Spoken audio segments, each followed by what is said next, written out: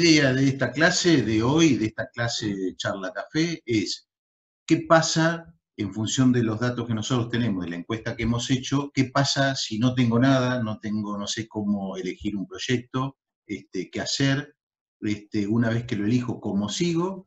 Bueno, una vez que uno tiene un proyecto, y yo le diría que aquellos que están eh, teniendo dudas, porque me han mandado algunas consultas que están teniendo dudas, elijan cualquier proyecto, cualquiera que le guste, que lo puedan mejorar, este, y este, salgan de ese loop porque si no, no van a arrancar más. Eligieron el proyecto, aplicamos una técnica creativa le encontramos una mejora, le hacemos una mejora, y a partir de ahí todo el trabajo se desencadena con las herramientas que están en las clases. Árbol de problema, mapa mental, mapa de empatía y Canvas. ¿Qué hay que hacer? Bueno, eventualmente ir y reforzar la clase, volver a verla, eh, y con eso van a reforzar los conceptos para poder hacer.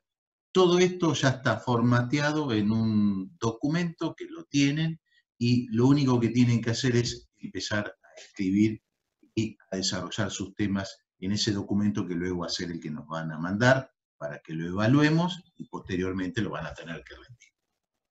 Bien, hoy, como decía la profe, ya está cargado desde ayer cómo hacer un picheo, cómo hacer un pitch, con un bonus track muy interesante de una persona así como Sol, eh, que está en Estados Unidos, una periodista, y estuvimos charlando de cómo poder hacer un buen pitch, así que el bonus track es una entrevista con ella.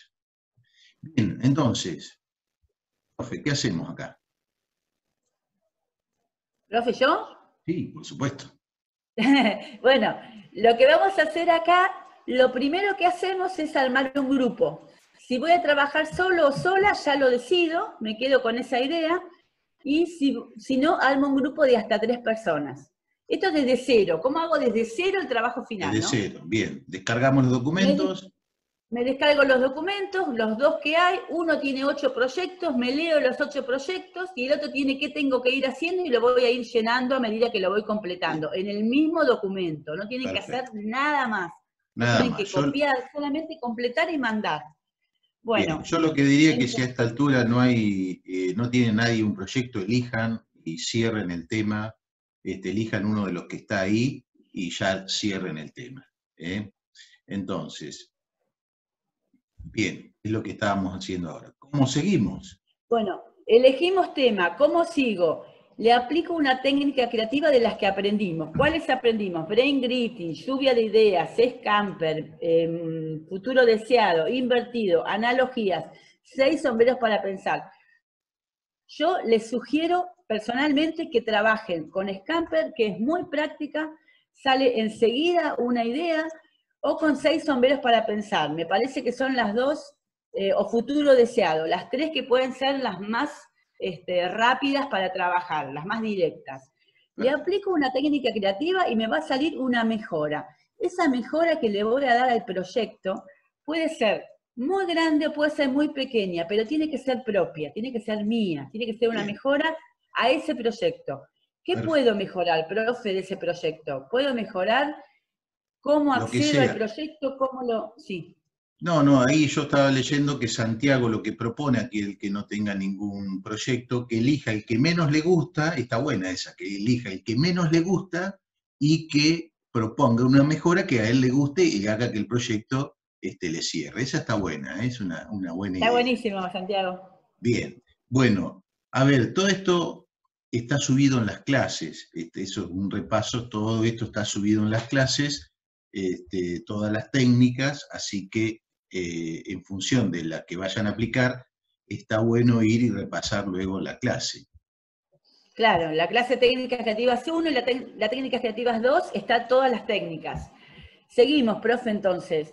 Eh, le aplicamos una técnica creativa y vamos a ver entonces cómo funciona una técnica creativa concreta en un ejemplo. ¿O lo, pasamos, profe? Sí. Vamos a hacer un scamper.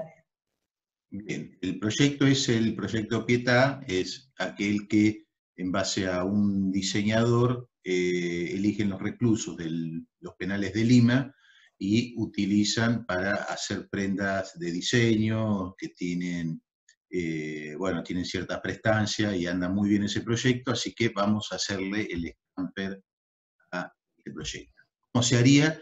Dan de cuenta que eligieron ese proyecto y le van a aplicar esa técnica. Vamos rápido, profe.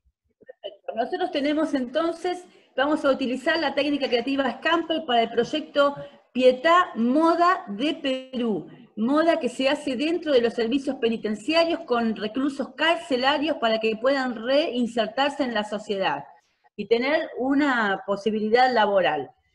Eh, la S de sustituir es, ¿qué puedo yo sustituir del proyecto para que sea mejor? Bueno, voy a sustituir, nosotros elegimos, en nuestro caso, eh, sustituir la ropa por alpargatas. Vamos a diseñar alpargatas también, alpargatas pieta. ¿Qué puedo combinar? de este proyecto con otros para que sea mejor, más productivo, más práctico, más barato, etc. Vamos a, combinar las alpargatas con bordados manuales.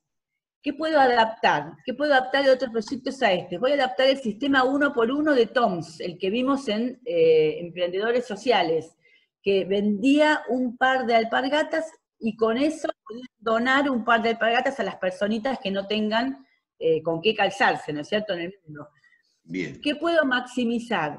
¿Qué haría más grande del proyecto? Y haría, yo haría números más grandes de lo normal. Empezaría del 44 en adelante, o haría todos, pero haría del 44 en adelante también. Proponer otros usos. Puedo proponer vender la, marca como franquicia para otros productos. ¿Qué puedo eliminar del producto o del proyecto? Y voy a eliminar los cordones por velcros. ¿Qué puedo reordenar? Eh, perdón, ¿qué puedo reordenar de la producción? Y bueno, no veo, profe. Bordaría las telas eh, y luego les daría diseño. Ah, perfecto, bordaría primero las telas y después con esa tela genero los diseños. Perfecto. Así que de esta manera hemos hecho un scamper con una de las técnicas creativas. Vamos a trabajar con, esa con ese ejemplo entonces.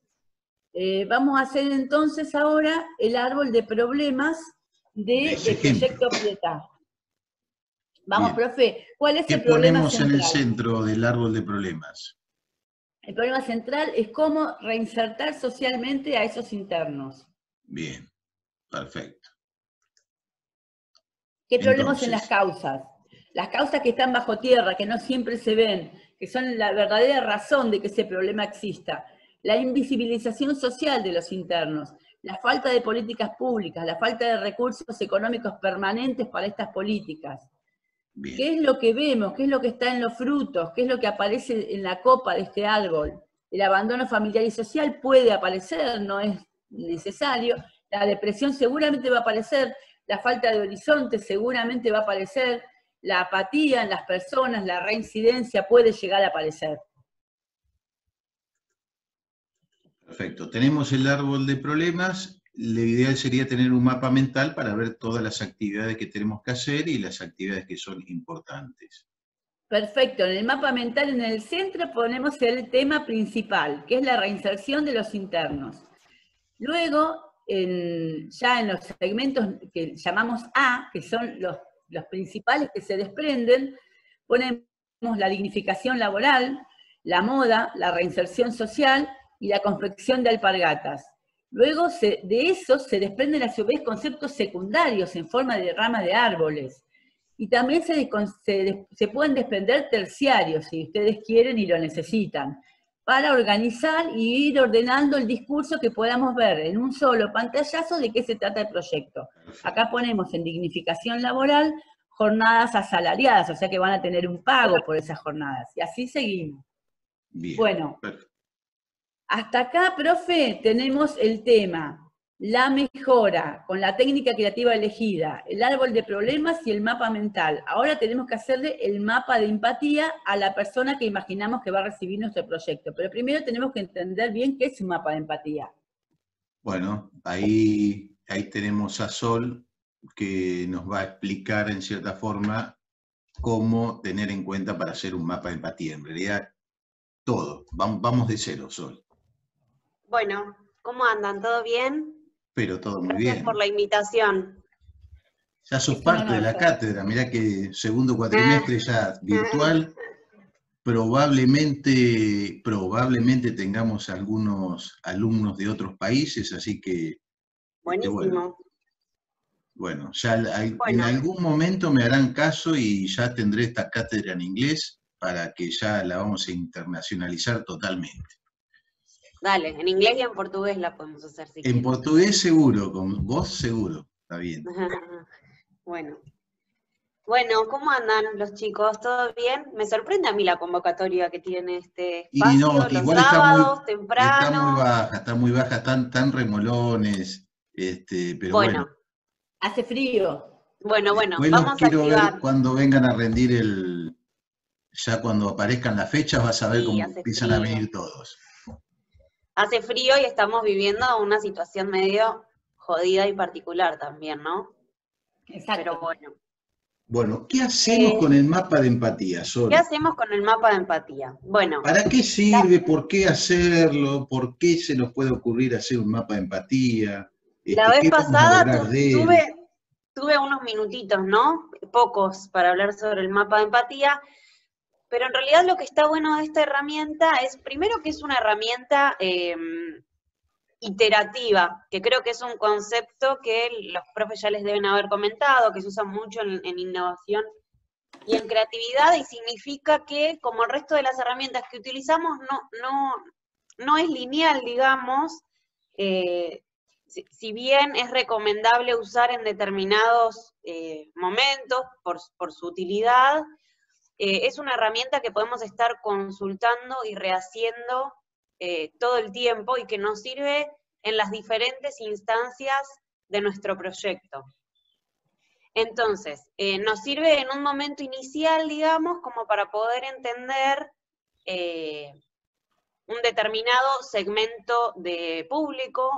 A ver, el mapa de empatía siempre se hace en relación a un segmento de público en particular. Yo no lo hago sobre toda la gente del mundo eh, y su relación con un determinado problema. Lo hago con un determinado segmento de personas y lo defino. Digo, bueno, voy a analizar la relación con los residuos o con la basura de em, las mujeres de entre 20 eh, y 50 años que viven en tal lugar.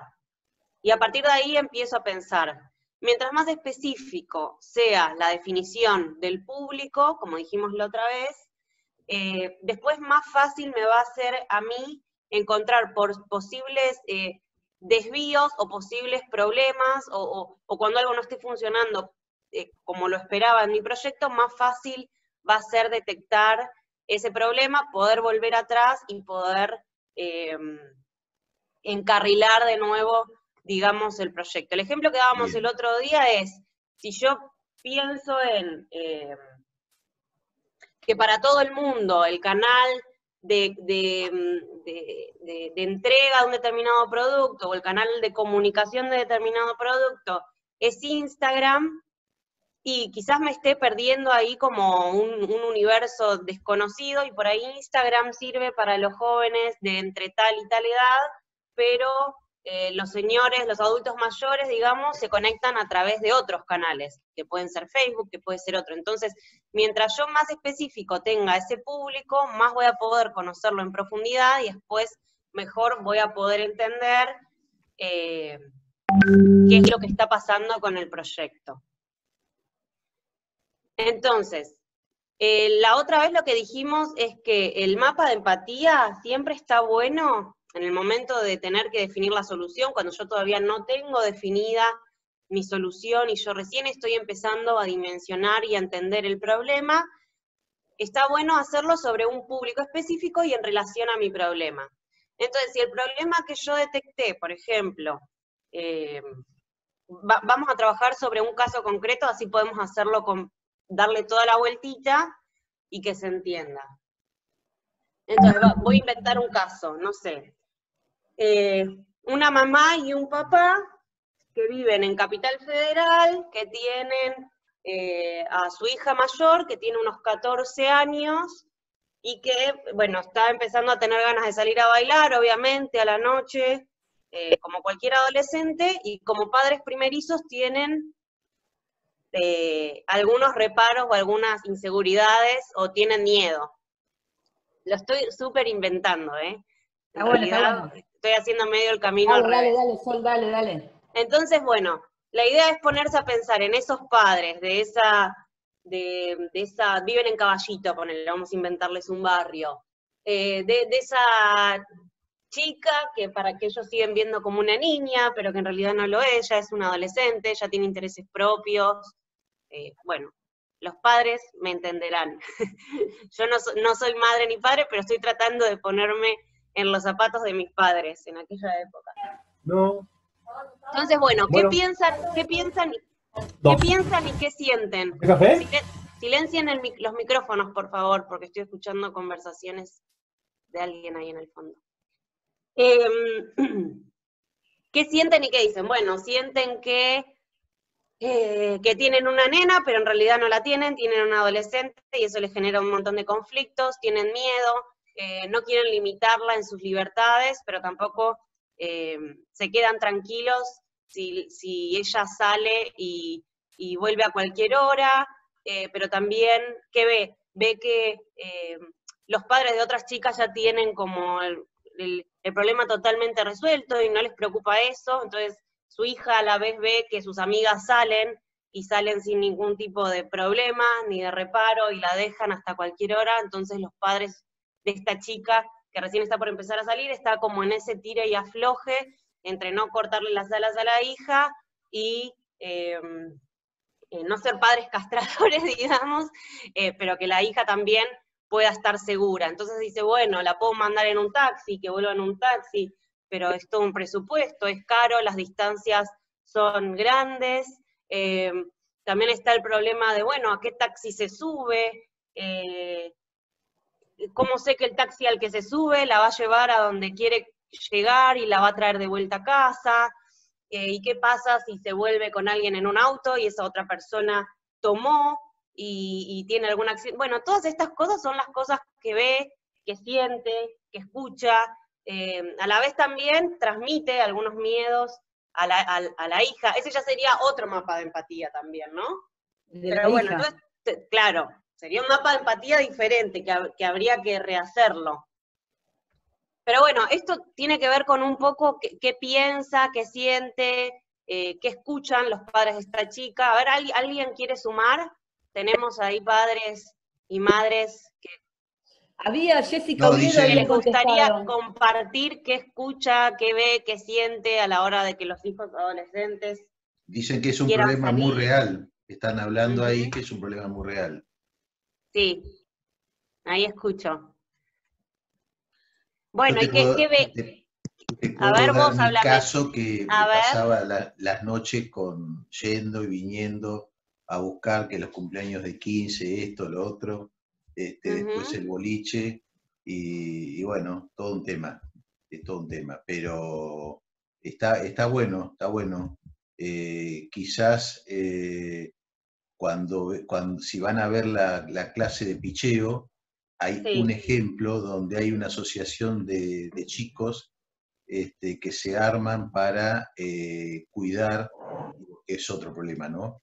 cuidar los hijos de padres separados para que los padres puedan este, salir y tener su, recreación.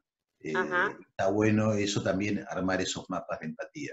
Pero bueno, en estos casos, a ver, ahí están, está apareciendo angustia. Los padres pueden ver o escuchar en las noticias las cosas, eso, claro, eso, ¿Qué, ¿qué, escuchan y qué ven? ¿Ven la televisión? ¿Escuchan el noticiero? pasan un montón de cosas con, las chicas, es, inseguro, hay robos, em, hay abusos, es como un, como un escenario hostil para las mujeres, para las mujeres jóvenes. El escenario y el entorno que es imposible de manejar es dentro de los lugares, con determinada gente, con determinadas organizaciones, con la oferta al consumo de determinadas cosas, es decir, todo eso uno no lo maneja este, pero piensa, siente, este, lo escucha, y bueno, ahí tenemos toda una serie de insumos. Este, la etapa de empatía es muy importante. Bien, yo hice un poco, un poco un resumen y algunos punteos. Em, vinculados específicamente al tema de los traslados. Entonces puse, bueno, ¿qué escuchan y qué ven los padres? Que la noche es peligrosa, que salir de noche es inseguro, eh, ¿qué, siento que piensa? Bueno, teme que le roben, teme que alguien se la lleve, teme por su integridad física en las idas y en las vueltas a los lugares. ¿Qué hace entonces? ¿Cómo procede? Y está toda la noche atento al teléfono, eh, no se queda tranquila, eh, ven, ven el celular cuál fue la última hora de conexión de WhatsApp de la hija, em, se levanta a las 5 de la mañana para ir a buscarla a 35 cuadras a no sé dónde. Bueno, todo eso afecta también, ¿no? En calidad de vida, en, carga mental, en, bueno, en la tranquilidad de los padres.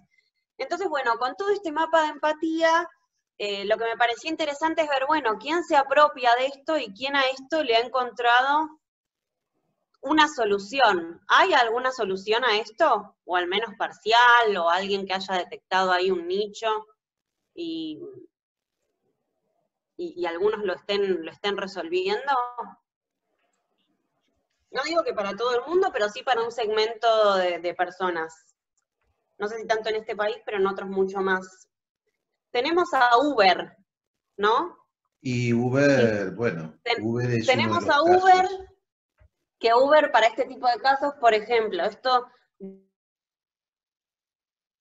del, yo lo usaba mucho, esto del gasto de plata, por ejemplo, ay, bueno, me tengo que gastar 500 pesos para irme a 35 cuadras, 500 pesos para volver. Bueno, no, lo que, lo que Uber te ofrece es una tarifa dinámica basada en eh, la demanda y también te da la oportunidad de poder compartir el viaje.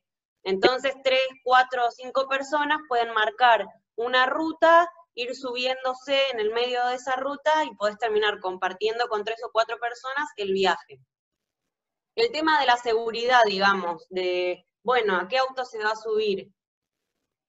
Uber controla dónde se encuentra el auto. Eso, Uber, Uber, Uber tiene identificado y geolocalizado dónde está el auto. Uber te dice el nombre de la persona que va a ir a buscar, el nombre de la persona, la patente del auto y también te da un scoring de cómo está puntuado el chofer que va a acercarse a tu casa a buscar a tu hija. Uber acepta tarjeta de crédito en muchos casos, entonces la gente no tiene que estar, digamos, disponiendo de dinero en efectivo para poder pagarlo, incluso puede debitarlo de la tarjeta de crédito eh, de la mamá o del, o del papá de la chica. Puede pagar con un em, código QR también. Claro, claro.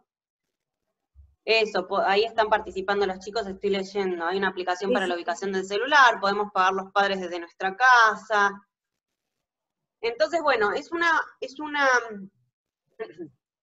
aplicación que eh, a un determinado segmento de mercado y segmento de público viene a darle una determinada, o sea, Uber igual es muchísimo más amplio, pero digo, todas estas eh, eh, propuestas o agregados de valor que tienen em, están orientados, digamos, a necesidades puntuales y a problemáticas y a, dolores, como le dicen ellos, que, fueron encontrando en sus públicos.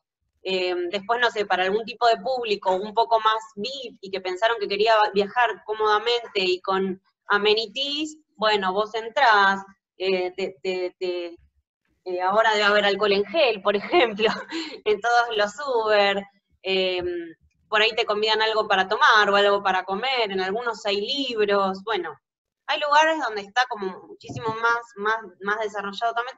No estamos diciendo ni que Uber sea bueno, ni que sea malo, ni que su competencia sea eh, leal o desleal. Hay mil cosas que podemos discutir sobre Uber, pero sí es verdad que ha sabido entender como algunos puntos ahí eh, débiles del sistema de transporte semipúblico, digamos, que, teníamos hasta ahora, que lo ha sabido leer y que eh, da, digamos, soluciones a todos estos problemas. Perfecto. Ahora ¿Ustedes creen que, la madre, que, los padres de, de, la chica esta podrían estar un poco más seguros con Uber? Yo creo que sí. Bien. Entonces, si yo ahora me centro, porque la duda que tienen los chicos es este, cómo armar el mapa de empatía de su proyecto. Entonces, eh, está claro todas las preguntas. Bien, en el centro, nosotros nos ponemos entonces con el problema. Con el problema, sí. Con el problema. ¿Está bien? Sí. Acá tenía, bueno, acá tenía lo que nosotros les hemos dado. Esto que está acá es tal cual como se lo hemos dado en el proyecto. Este, y, y, es lo que tienen que ir haciendo ellos, ¿no?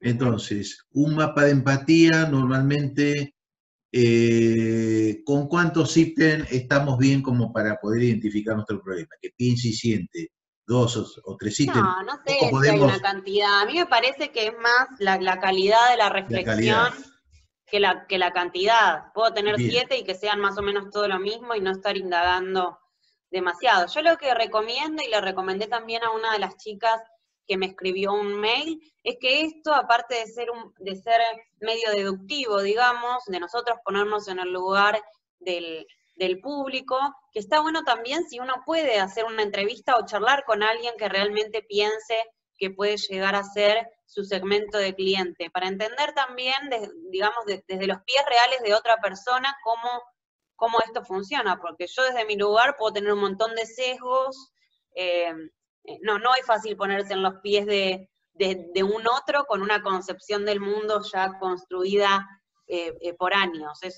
Como muy subjetivo ese abordaje. Entonces, mientras yo más cerca de la realidad esté, mejor. Entonces, me parece bastante interesante poder charlar con gente. Y ojo, que este ejercicio no es bueno. ¿Qué, qué, qué oís? ¿Qué ves? ¿Qué pensás? porque seguramente no, no, no sea muy rico la, encuesta. Me parece que hay que profundizar un poco en, una entrevista que, que, no sea cerrada, digamos, que sea semiestructurada y que no le da bueno.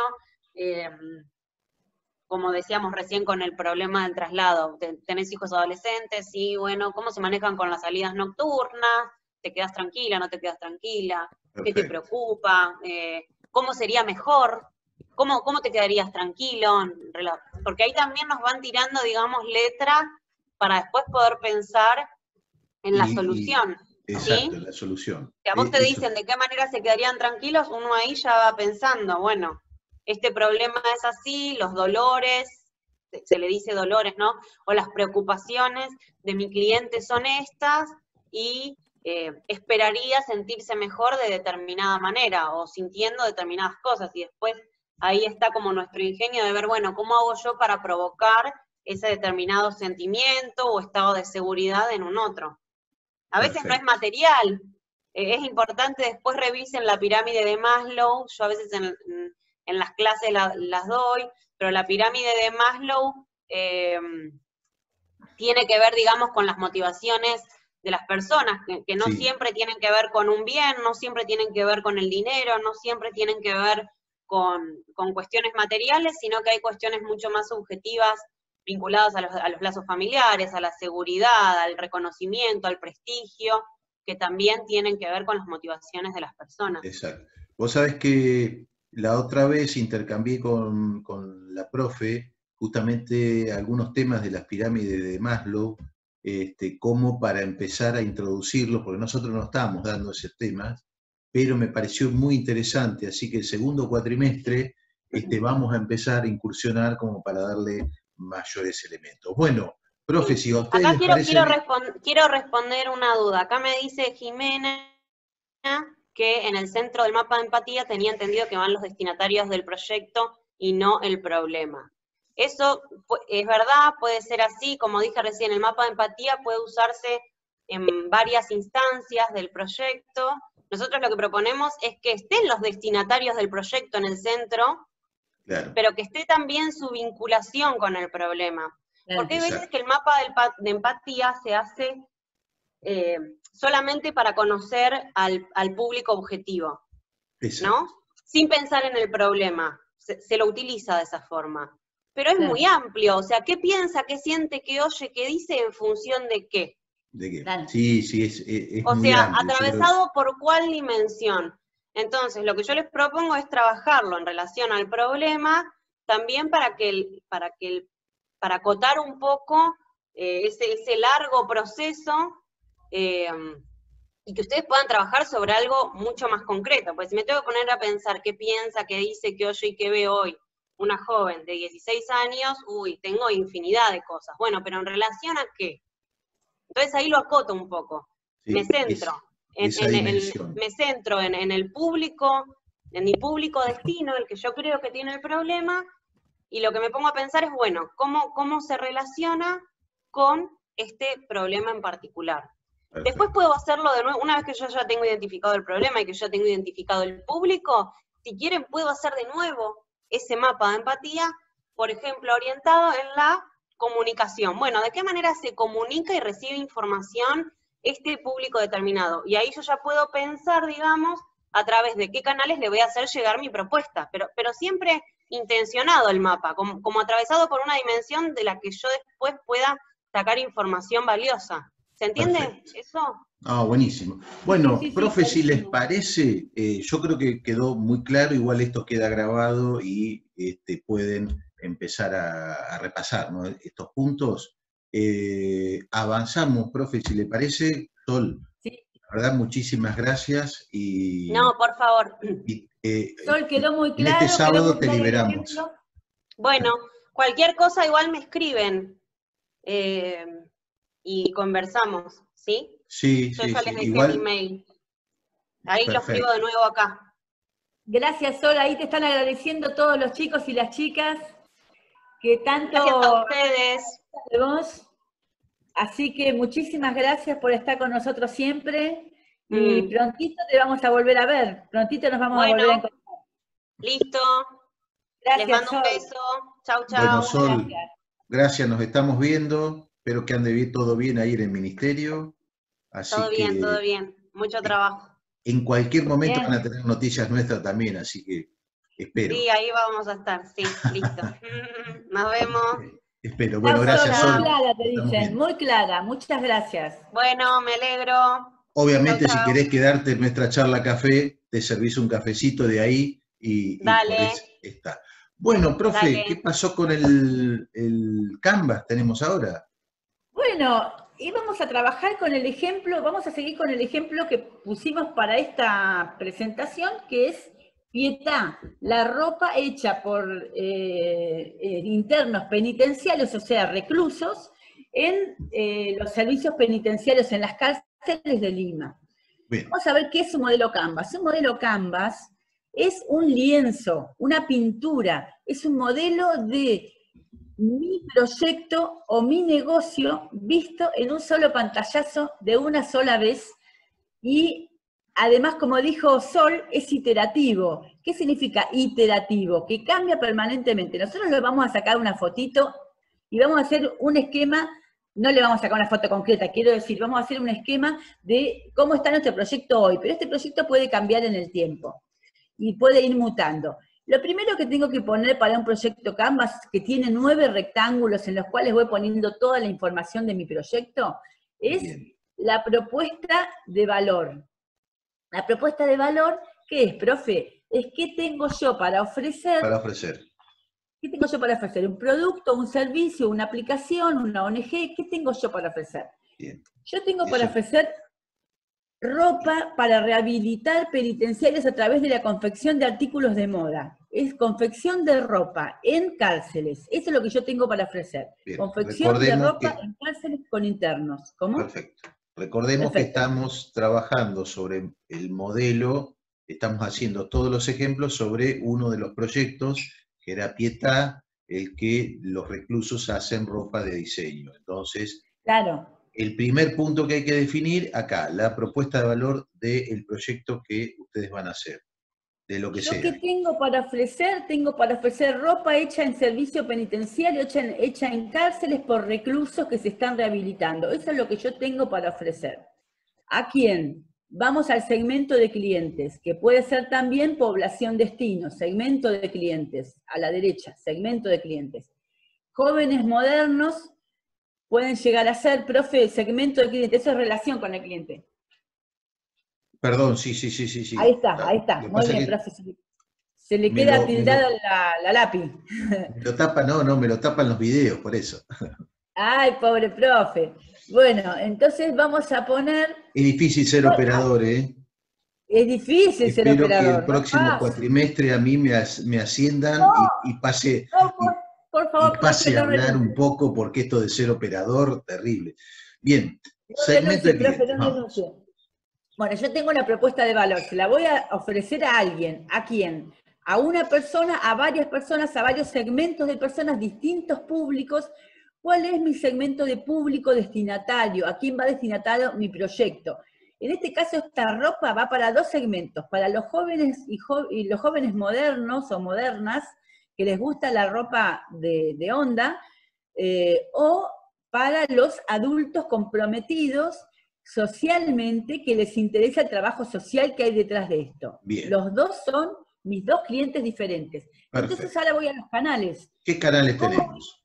Perfecto. El canal es con qué canal, de qué manera yo voy a llegar con mi propuesta de valor a mis distintos segmentos de clientes o población destinataria. Yo tengo los canales, las redes sociales pusimos en este ejemplo de Pietà, porque vamos a llegar a los jóvenes con redes sociales. Y a los adultos comprometidos socialmente vamos a llegar con los negocios y con los negocios propios de la marca los negocios que tienen consignación y los negocios propios de la marca. También podría ser por publicidad común, como puede llegar a ser la televisión, la radio, eh, los medios masivos de comunicación, que los adultos los miran. Perfecto. Después vamos al de arriba.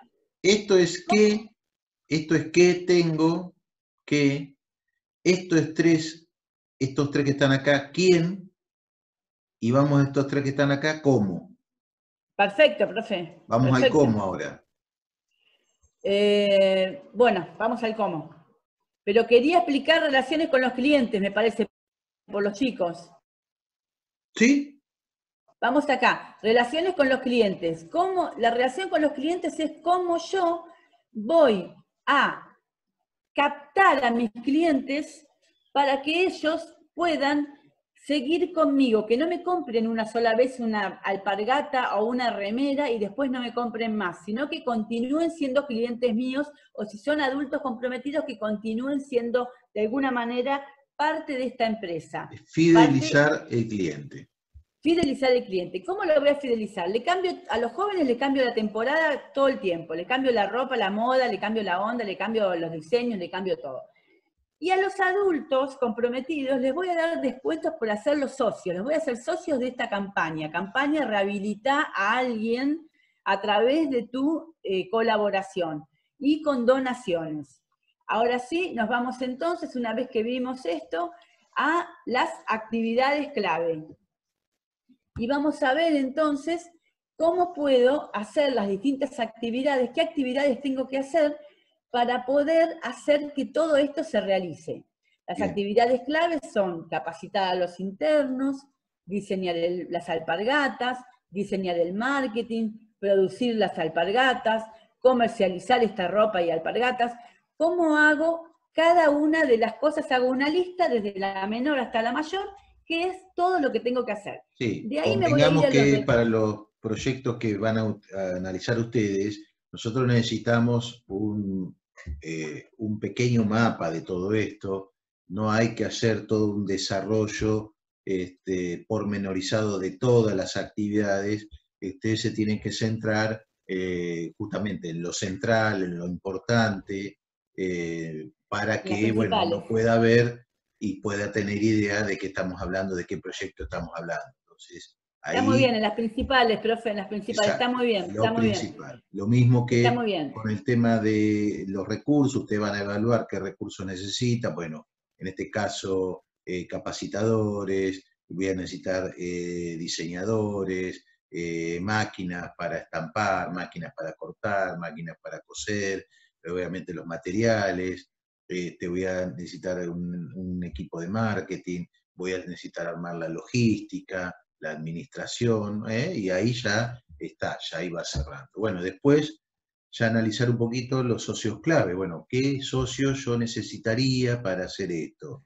Este, puedo tener un capital inicial y a lo mejor no necesito socios, pero a lo mejor yo puedo hacer socio de esto a quienes son los que producen las telas y es parte de mi socio, este, o puedo hacer socios eh, a una pequeña empresa de logística para que me haga toda la distribución, o me puedo hacer socio a alguien que ya tiene una franquicia de ropa, o este, tiene una franquicia de café y con los cafés este, también este, agregan eh, la venta de esta ropa, entonces eh, puedo tener de socios al servicio penitenciario para que aquellos que trabajen en este proyecto le den mejores condiciones dentro del servicio penitenciario, a la propia justicia para que pueda evaluar mejor a los internos. Eh, bueno, esto es pensar, pensar, pensar cómo haríamos este, para armarlo. Entonces, eh, actividades clave, los recursos, los socios, y después vamos a los dos que están abajo, y ahí estamos hablando de estructura de costos y este, fuentes de ingreso. Entonces, ¿qué costos tengo yo para hacer esto? Bueno, en este caso, son todos los materiales, los insumos, el marketing, un costo inicial para las máquinas. A lo mejor las máquinas las puedo alquilar o puedo subalquilar talleres y son parte de, socios este, míos, es decir, talleres que ya están confeccionando ropa para multimarca y los puedo asociar. Este, bueno, eh, tengo que tener en cuenta la administración de esto, los capacitadores, este, todos los que me manejan eh, la cuestión de marketing y de redes. ¿eh? Entonces voy a tener una estructura de costo. Esto también sirve si ustedes van a hacer algún proyecto para ustedes, este, para el barrio, para quien sea, este, siempre tener esta estructura de costo. Y por último, por último se van a la última columna y ahí van a trabajar con los ingresos. Bueno, ¿qué ingresos van a tener? Bueno, en este caso podemos tener ingresos por la venta, eh, también podemos tener ingresos porque esto es parte de un plan modelo y a lo mejor el Ministerio de Justicia quiere subsidiarlo. Este, podemos tener ingresos indirectos porque eh, el Ministerio de Desarrollo eh, nos compra este, por volúmenes importantes este tipo de ropa, entonces lo podemos tener por ahí. Eh, podemos tener ingresos por el uso de redes, es decir, un montón de cosas. Entonces, pantallazo general, el Canvas a nosotros nos describe nuestro proyecto. Y ojo, esto no solamente, chicos, les sirve para este proyecto y esta materia, esto sirve para lo que sea. Si ustedes van a hacer algún emprendimiento en su barrio, en el sindicato, en una empresita, y van a ir a pedir un, un crédito, un préstamo un subsidio, van a tener que hacer este modelo Canvas. Por eso nosotros se los pedimos. Y les comento, en octubre vamos a participar del Rally Latinoamericano de Innovación. 70, 80 universidades de toda Latinoamérica durante 28 horas, sus estudiantes se juntan y arman grupos de trabajo para este, responder y resolver desafíos que se les da. ¿eh? Más o menos como lo que hemos hecho nosotros. ¿Qué les piden para resolver ese desafío este, como productos entregables? Dos cosas. El Canvas y el picheo, que es lo que hemos subido hoy. Por eso que es importante eh, que ustedes puedan hacer esto, porque prácticamente para el proyecto final, lo primero que nosotros vamos a ir a ver es el Canvas, les aseguro. Porque, y porque nos damos cuenta qué grado de desarrollo tiene, en función de las cosas que ponen ahí, qué grado de desarrollo tiene su proyecto. Bien, profe, no sé si quedó algo más. No, porque después del Canvas viene el picheo que lo van a ver hoy.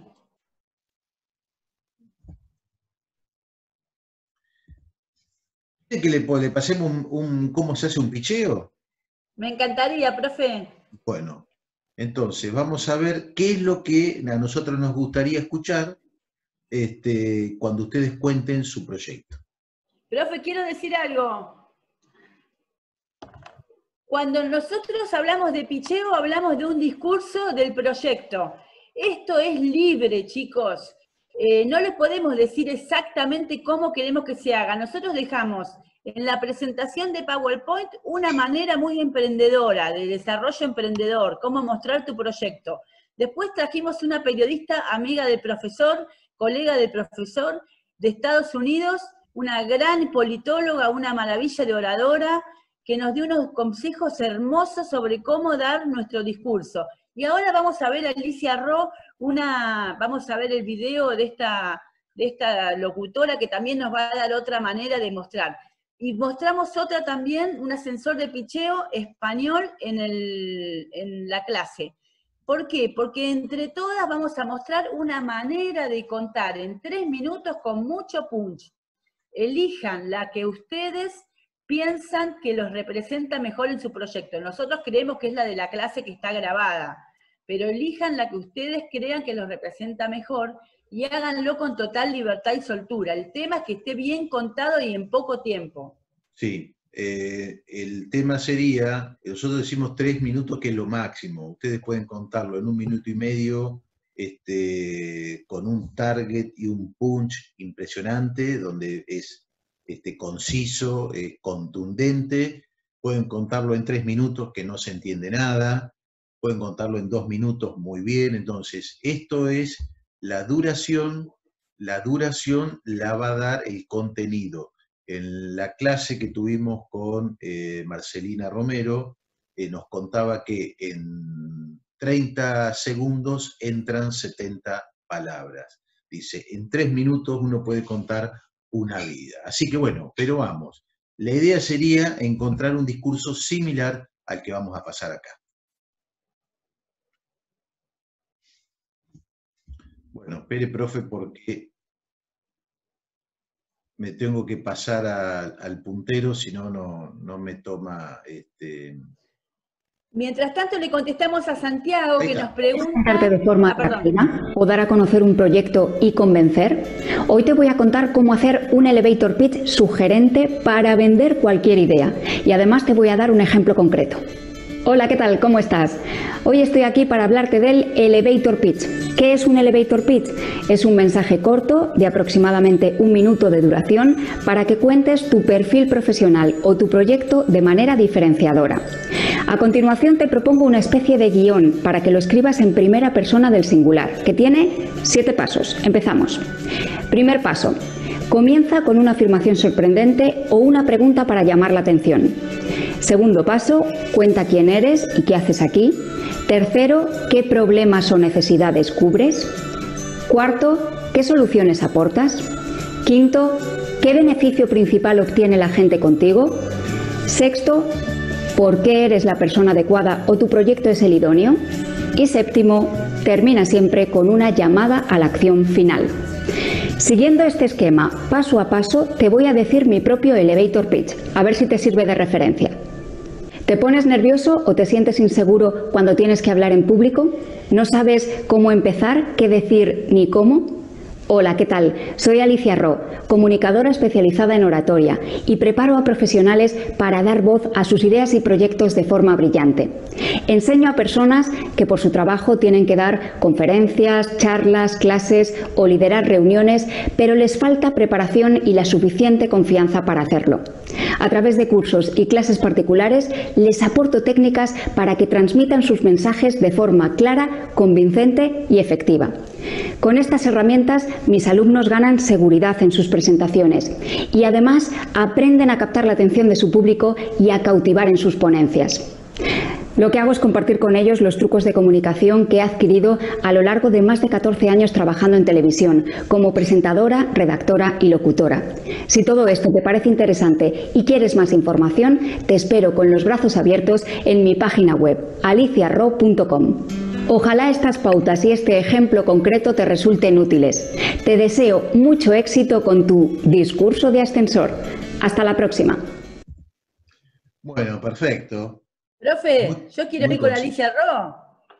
Sí, muy conciso, muy conciso, este, claro, este, siempre con la, eh, pregunta al principio, este, luego decir quién es, este, luego decir qué es lo que ofrece, este, la solución, este, cómo, cuáles son los beneficios y siempre este, dar el dato para que uno pueda contactarse. Pero bueno, ahí está, un discurso de un minuto y medio, esto no alcanza dos minutos y es contundente, contundente para las personas que, bueno, tienen problemas para comunicarse, este, para que vayan y la contraten. Este, la verdad, bueno, esto es un poco lo que queremos. Fíjense de forma que, fácil lo hizo. Este, entonces nosotros necesitamos que nos cuenten su proyecto, este, acompañados de imágenes, de algunas cosas que han hecho, este, y ese sería el picheo de su proyecto. Quien llegue a hacer ese picheo más el proyecto que esté aprobado, bueno, alcanza el tan preciado bonus track de esta materia.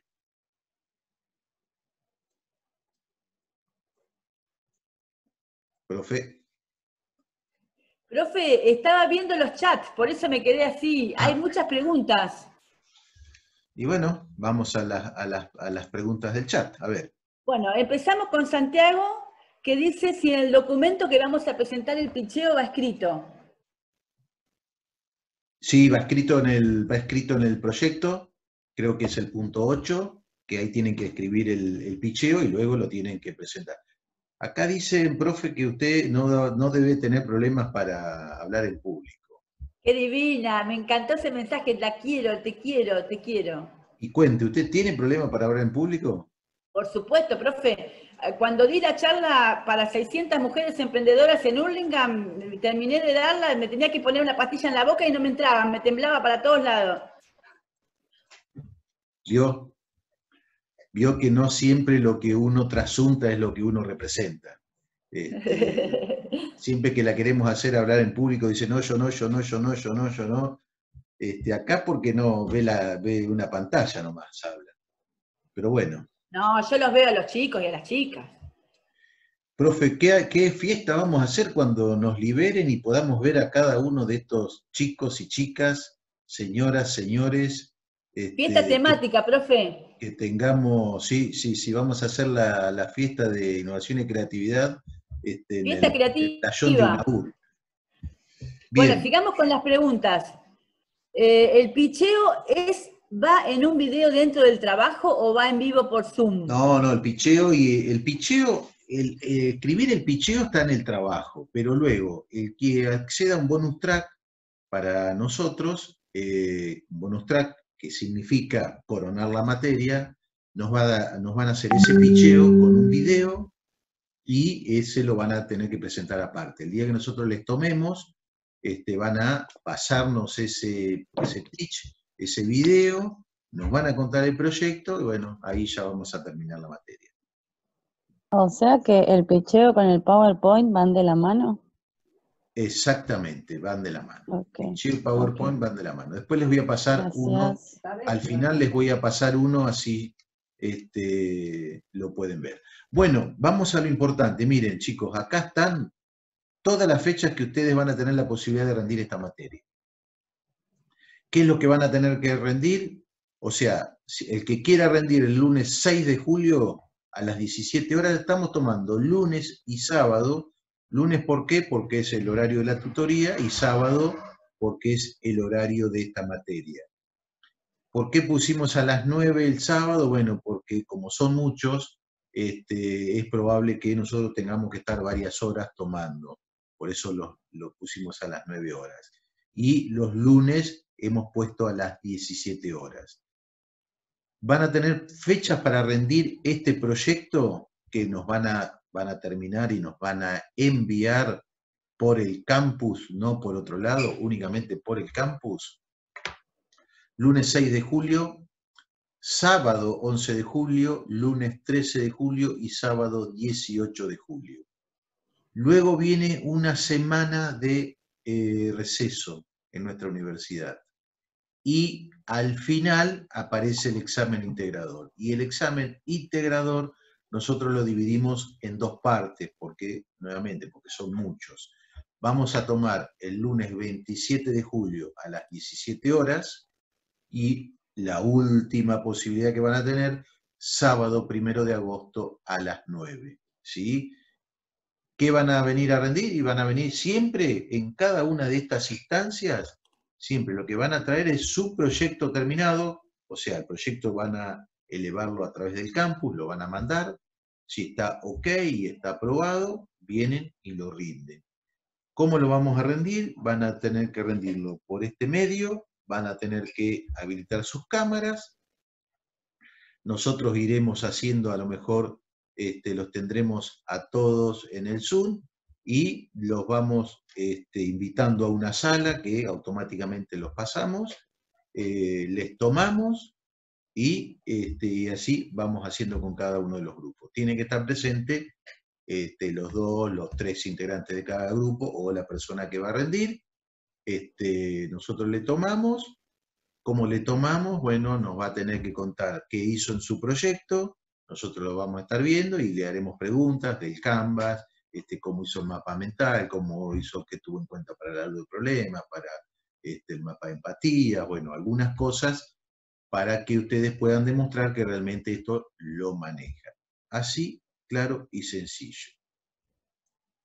La fecha límite para entregar el proyecto, fecha límite es el 8 de julio, para que a nosotros nos permita, este, nos permita eh, corregir. Obviamente, el que venga a rendir el lunes 6 de julio no pretenda rendir el 6 de julio y me entregó el proyecto el domingo 5 de julio.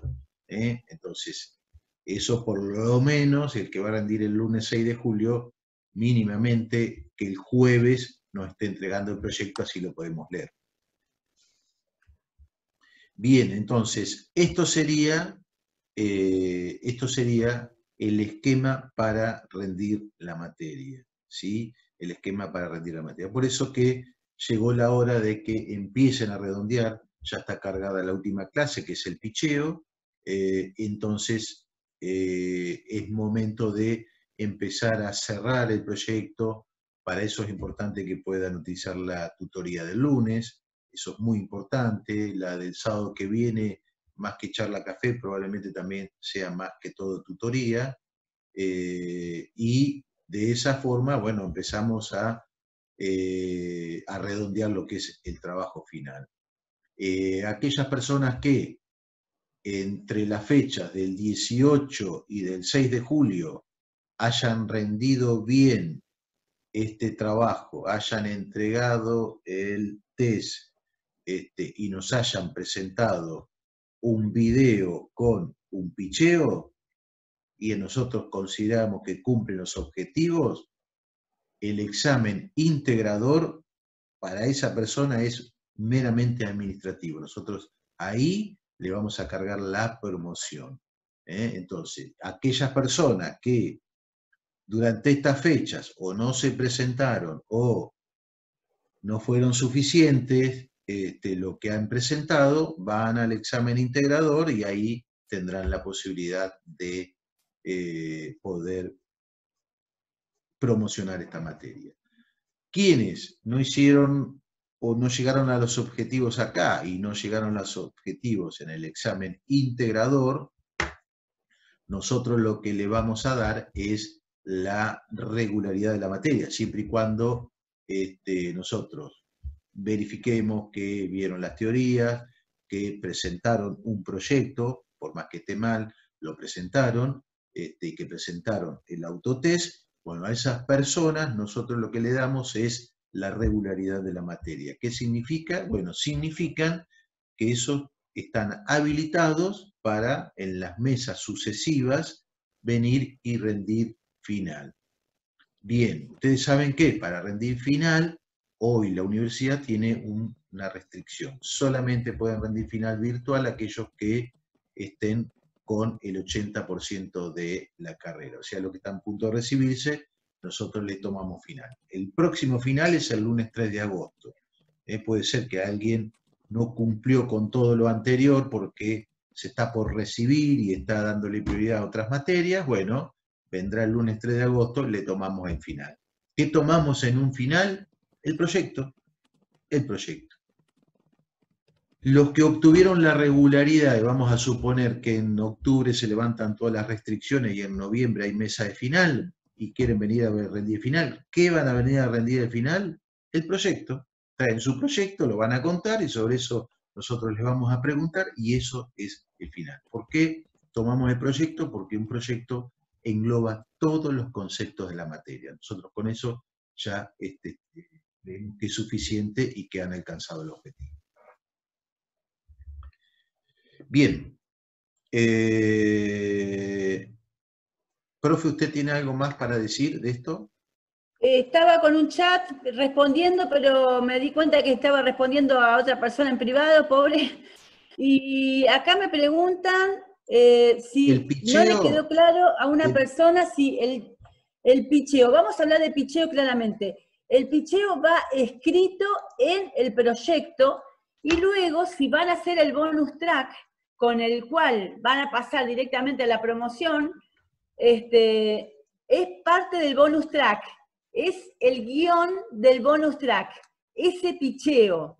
O sea, ustedes lo tienen por escrito en el proyecto y después es el material que van a utilizar para darle forma al bonus track, al video. ¿Está bien, profe, lo que digo?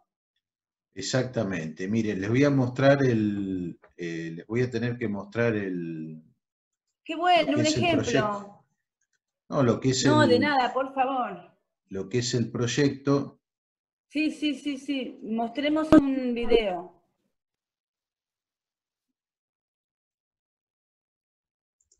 Eh, no, no, primero les voy a mostrar lo que es el, el proyecto.